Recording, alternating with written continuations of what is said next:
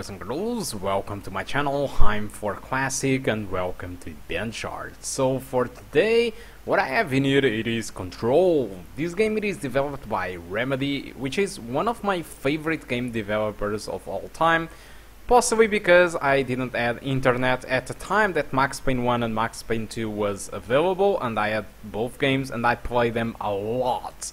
I mean, I finished Max Payne 2 more than 20 times. I also have Quantum Break, which I didn't care that much, but I had Alan Wake, which I loved a lot. So looking to the settings in this game, you see that this game features a render resolution, or resolution scaling, and the minimum that you can go it is 540p. The entire rest of the settings are at minimum. The game forces TAA, so it is clearly noticeable that the game it is kind of blurry.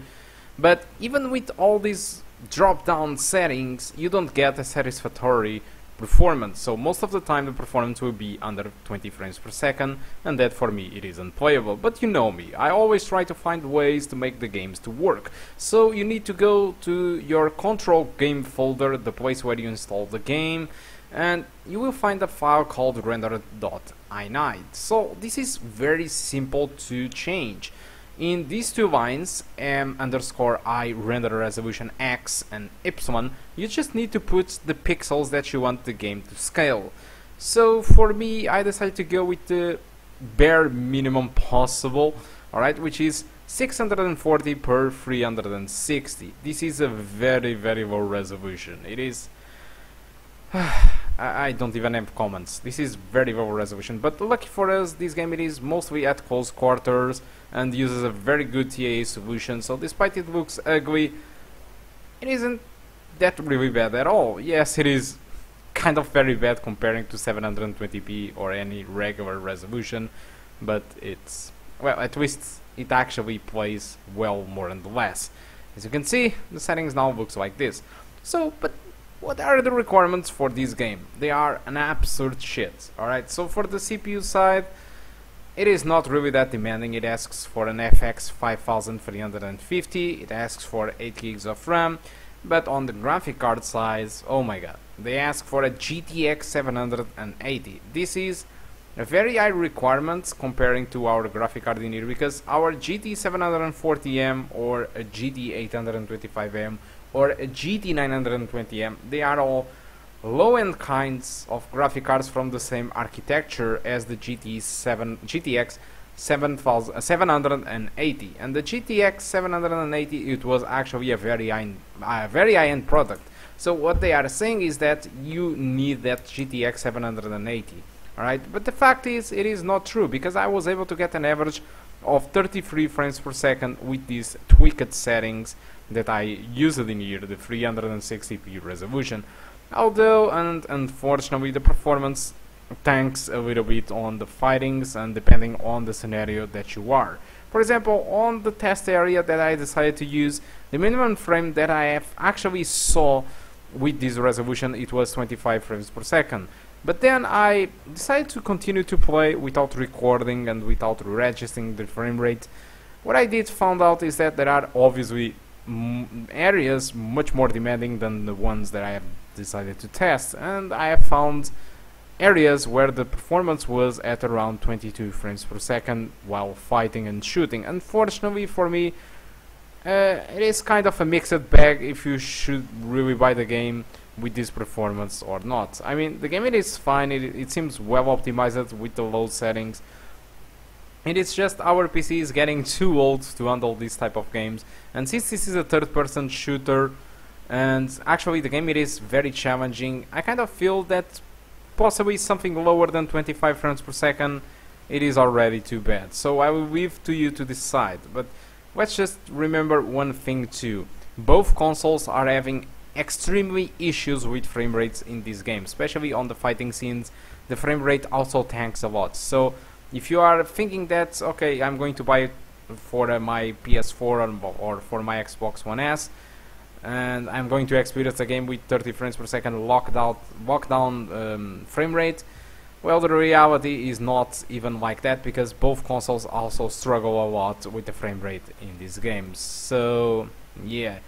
But at least you have good graphics and good resolution on the consoles. But like I said, let's get back to this specific laptop. Unfortunately for me, the resolution is bad, the graphical settings are at the minimum, and the performance tanks sometimes between 20 to 30 frames per second. So for me, it is complicated to recommend, especially with the price that they are asking for the game. They are asking a full price for the game, 59.99.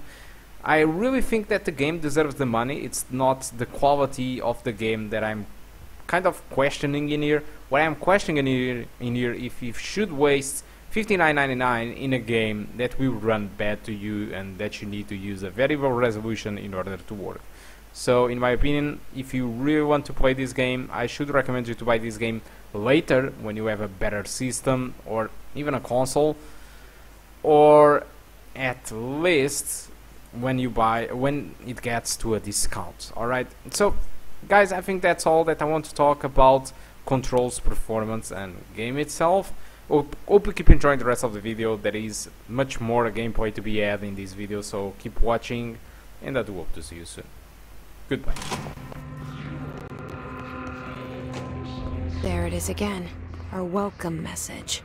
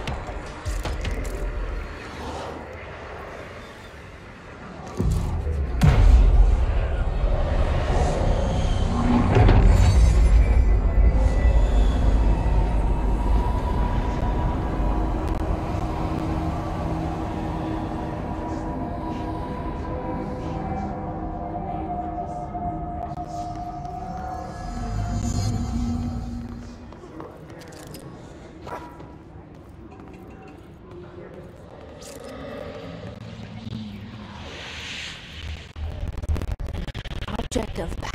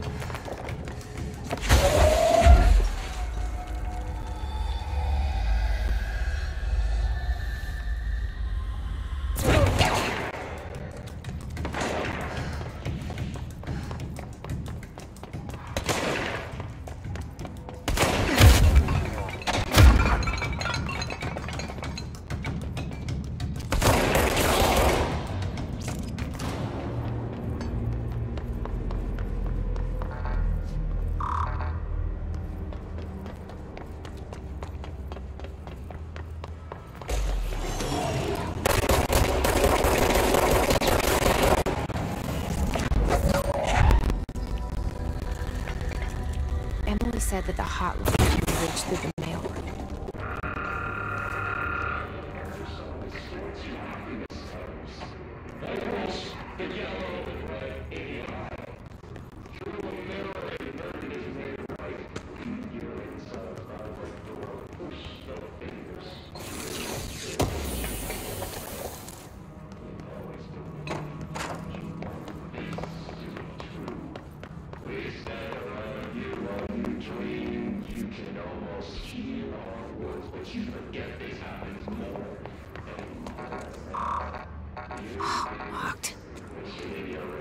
there's a key nearby.